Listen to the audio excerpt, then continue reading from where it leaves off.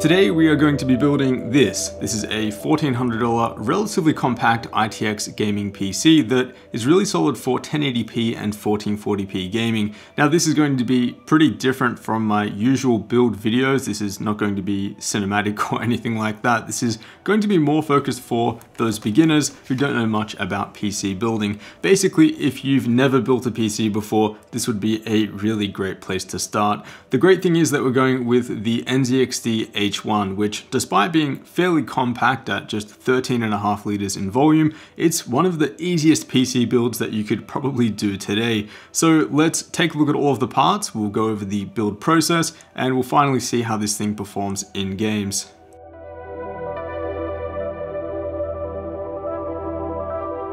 So at $1,400, you're getting a pretty compact gaming rig that takes up barely any room on your desk and also stays relatively quiet under full load. Let's jump in and take a look at the parts, starting with the CPU. So here we're going with AMD's Ryzen 5 3600, which I'd definitely consider the sweet spot as a gaming CPU option at the moment. You're getting 6 cores and 12 threads on AMD's current generation architecture, and that's going to give us a nice stable frame rate performance in games with no stuttering. That's something that you might experience if you opt for a similarly priced Intel CPU instead, such as the i5-9400, which only has 6 total threads. We're going to be slotting that Ryzen 5 CPU into the Asus Strix B450i motherboard, and the great thing here is that this board supports 3rd gen Ryzen CPUs out of the box. That means no messing around with BIOS updates and having to borrow a previous gen chip. I've also done an in-depth video on this motherboard comparing it to the much more expensive X570i version, and in short, I can only recommend opting for that more expensive X570 variant if you're using a 16-core 3950X or maybe the 12-core 3900X. For our 6-core processor though, this B450i version is ideal. For storage, we're going with a single 1TB M.2 NVMe drive. The one that I'm using here is a fairly expensive Gen 4 drive, but I'll link a much more suitable and affordable model down below. Installation is identical and performance for gaming for most real-world tasks will be virtually the same. For memory, we're going with 16GB total, rated for 3200MHz, and this is a Corsair Vengeance LPX kit. Fairly straightforward, 16 gigabytes is the sweet spot currently for gaming, and thankfully memory prices have come down significantly over the past few months. Probably the most flexible part of this build though is the GPU, and here I'm going with NVIDIA's RTX 2070 Super. Now if you want to save around $100 US on this build, you could go for AMD's RX 5700 XT instead, which honestly performs within 5 to 7% on average of the RTX 2070 Super that we're going with here. If you're more confident with performance tuning and troubleshooting, you might want to go for that 5700 XT. The GPU drivers there are less stable based on feedback, and the thermals could be worse depending on which specific card you buy. But if you want the safer option in terms of drivers and overall performance, go for the 2070 Super like I have here. This would also be the better choice if you maybe could see yourself streaming or doing some H.265 video encoding on the side. In that case, you can benefit from the powerful onboard encoder on the NVIDIA card. And lastly, we have the NZXT H1, one of the best cases that I've had the pleasure to review in terms of building and user experience. And the great thing here is that the power supply and liquid cooler for the CPU are already pre-installed.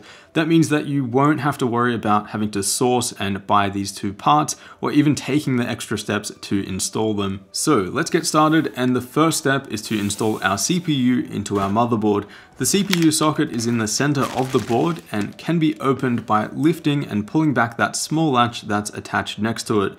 The latch should sit at 90 degrees to completely unlock the CPU socket.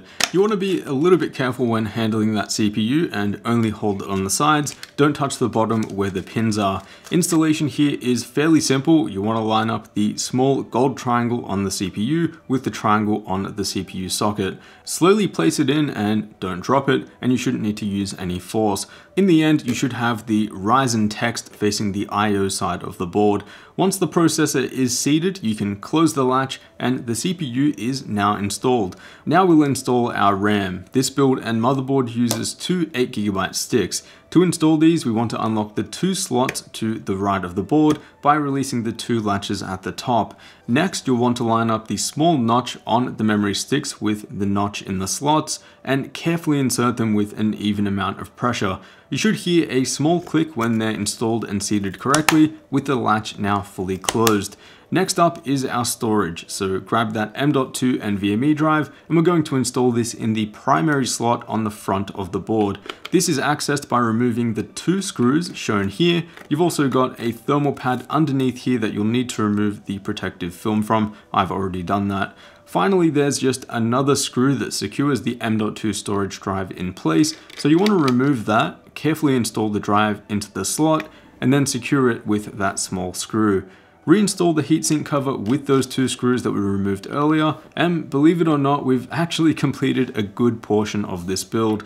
The motherboard is now ready to be installed into the NZXT H1 case. So unbox the H1, remove the front and rear panel, and then you'll be able to slide the main part of the enclosure vertically off the frame. The first thing that we need to do here is remove these two screws here, which secure the liquid cooler's 140mm radiator to the frame. This will release the radiator and allow it to hinge back and out of the way. This now gives us access to the motherboard tray, but before you install the motherboard, you want to install the motherboard's I.O. shield. You'll find this in your motherboard's box. Fairly straightforward installation here next to where the motherboard will sit you might have to fiddle with it and apply a bit of force. But now we can finally install the motherboard. I find that sliding it in through one of the sides is the easiest way here. The board should line up nicely with that I.O. shield. You'll find the motherboard screws in the accessory box for the H1. These will be labeled 6 to 32 by 5 millimeters, and there's four screws in total at each corner of the board. Now that the board is in place, we can start plugging everything in. And let's start with the PCIe riser cable that connects our motherboard to our GPU. This is already bent and in place, ready to be installed thanks to NZXT. This slots directly into the motherboard's PCIe slot at the bottom, and you want to double check just to make sure that it's fully seated. Next up, we'll install the front panel connector, the front USB connector, and also the HD audio cable.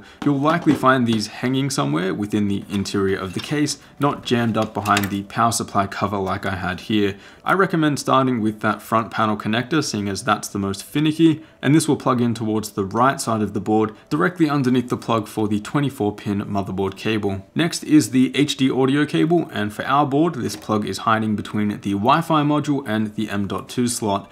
Then we have the bulky front USB cable. This plugs in towards the lower right side of the board. The 24 pin motherboard cable is next and thankfully that's right in place where it should be. It just needs to be lowered and then seated into the connector. Again, specifically for this plug, you want to double check that this one is seated properly. It's a common error among beginner PC builders that this one isn't fully connected. The 8-pin CPU power cable is also in place, just hovering above that connector, pretty easy to install there. And then the last two cables that we'll need to plug in, the 4-pin CPU fan cable and the 3-pin DC cable for the pump on our liquid cooler. The CPU cable plugs into the leftmost fan header and the pump cable plugs into the middle. Alright, I'd say we're about 85% finished at this point. Next, we need to install some mounting hardware onto our CPU cooler so that we can actually mount it to the CPU and motherboard.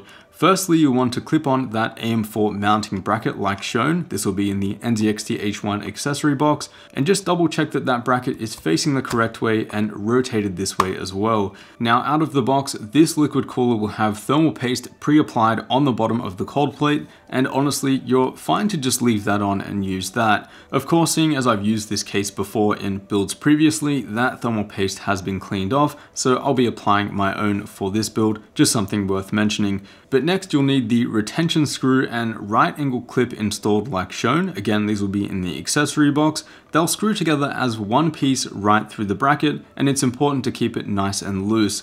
These two brackets on either side will hook onto the little latches that are pre-installed onto our motherboard and then it's just a matter of tightening them up. This will increase the mounting pressure of the liquid cooler onto the CPU. Once it gets fairly difficult to tighten and the block isn't going anywhere, then it's tight enough. Lastly, close that radiator hinge back to where it was initially, make sure that there aren't any cables or tubing that's getting caught in the way, and reinstall it with those two screws that we removed earlier. Now this side of the build is completely done, so let's flip it around and finally install our GPU. There's two screws towards the bottom of the case that line up the graphics card with the expansion slots. You'll need to remove those two screws so that we can properly install our 2070 Super. Installation here is fairly straightforward, just line up the PCIe slot with the graphics card, apply a bit of force, and it should seat nicely like shown. Then secure it with those two screws that we just removed, and then finally plug in those GPU power cables. For our RTX 2070 Super, we'll be needing an 8-pin and a 6-pin PCIe power cable, which comes in the form of this cable, and this is a fairly straightforward installation as, again, it's already so close to the connectors and in place. Just reinstall that power supply cable cover, and you've just finished building a killer compact gaming rig. We're not going to go over the Windows 10 installation here, you can find plenty of generic and well-made videos that show how to do that online, but let's skip ahead to what you'll need to download and install once you've got Windows 10 running and updated. The first thing that you'll need to do is update your motherboard's BIOS. Although the CPU is compatible with this board and will function quite fine, it's likely that the board didn't ship with the most updated BIOS that usually optimizes the CPU's performance. This is pretty easy to do. Just head over to your manufacturer's website. I'll leave a link to that in the description. Download the most updated BIOS onto a USB drive, restart your computer and repeatedly hit the delete key, bringing you to the motherboard BIOS, and then head over to the EZ Flash section, selecting the updated file. After that's updated, you'll also want to go ahead and enable XMP to achieve the full speeds from our memory kit. This is found in the AI tweaker section by by selecting the DOCP standard setting next to AI overclock tuner. If you want, you can also access the fan curve for the CPU cooler by pressing F6. You can make adjustments here later on once you've gotten to know your system a bit better. There are also a few more drivers that you'll need to install onto your system to get it running up to spec. These include the updated AMD chipset drivers, the audio, ethernet, Wi-Fi and Bluetooth drivers for your motherboard, and lastly the drivers for your GPU. Again, all links to these can be found down below in the description. But now let's talk about gaming performance, which is really what this system has been spec'd for. So with an RTX 2070 Super, this build is very, very capable at 1080p resolution and is also very suitable for 1440p. More esports focused titles will have no problem at all hitting above 240 frames per second if you don't mind dropping a couple of quality settings, and the majority of titles at 1080p high settings will have you sitting at around 120 FPS or thereabouts. Again though, that's pretty close to max quality and detail, so it just depends on what your priorities are. There's definitely plenty of room in the tank there if you want to bump the resolution up to 1440p. In terms of thermal performance, the RTX 2070 Super was hovering at around the 80 degrees C mark, with the Ryzen 5 3600 sitting at around 60 C. This was after 30 minutes into a gaming session with the room temperature sitting at 24 degrees C. Now, although those GPU temperatures are a bit on the warmer end, they're still well within spec and a safe operating temperature, with the 2070 Super still boosting to around 1860 MHz. Also, the system was pretty quiet during full gaming load, so there's plenty of room in the GPU's fan curve if you want to reduce that temperature a little yourself. Here's an idea of what you can expect in terms of noise.